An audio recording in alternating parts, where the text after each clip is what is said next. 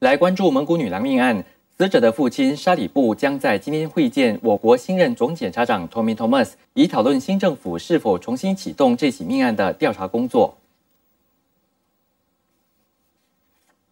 根据《新报》报道，蒙古女郎阿坦杜亚父亲的代表律师 Ram g a b a s i n 表示，沙里布将在今天下午三点在总检察署会见我国新任总检察长 Tommy Thomas。Ram g a b a s i n 指出，随着新政府上台，这起蒙古女郎命案有可能重新审查。